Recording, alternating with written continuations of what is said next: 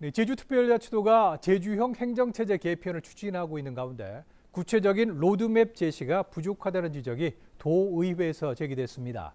또 정보 부족으로 인해 기초단체가 정말 필요한지 도민들의 공감대가 떨어진다는 쓴소리도 나왔습니다. 문수희 기자의 보도입니다.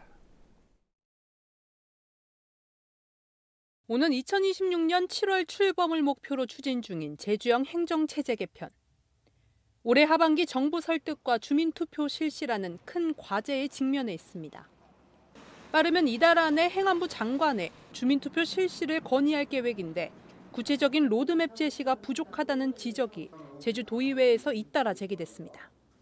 지난해 연구 용역과 도민 수기 토론을 거쳐 기본안이 발표된 이후 사무와 재정 배분안, 의원 정수 등 어떤 정보도 공개된 게 없기 때문입니다. 정부에 앞서 도민을 설득하기에 역부족이라는 지적입니다.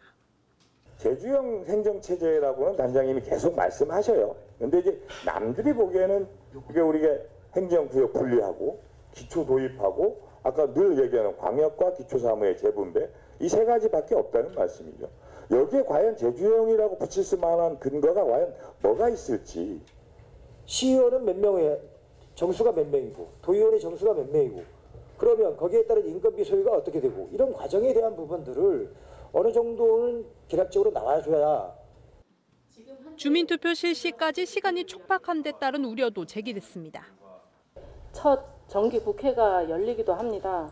그런데 지금 9월 달, 8월 달, 8월, 7월 말에 건의를 하고 9월 말에 하고 이게 좀 너무 늦지 않나 그런 생각을 해서 제주도는 지난해 기초 설치를 위한 주민투표 가능성을 담은 제주특별법 개정 과정을 통해 행안부와 합의의 발판이 마련된 것으로 본다며 일정에 차질이 없도록 노력하겠다고 밝혔습니다. 행안부와의 협의를 어, 이끌어내서 어쨌든 올해 내에 주민투표가 이루어질 수 있도록 최선의 노력을 다하겠습니다. 아직도 많은 도민들이 기초자치단체 설치가 과거로 회귀한다는 인식을 갖고 있는 만큼 행정체제 개편에 따른 기대 효과를 보다 명확히 홍보하고 행정이 아닌 도민 주체적인 개편이 추진돼야 한다는 의견이 줄을 이뤘습니다. KCTV 뉴스 문수입니다.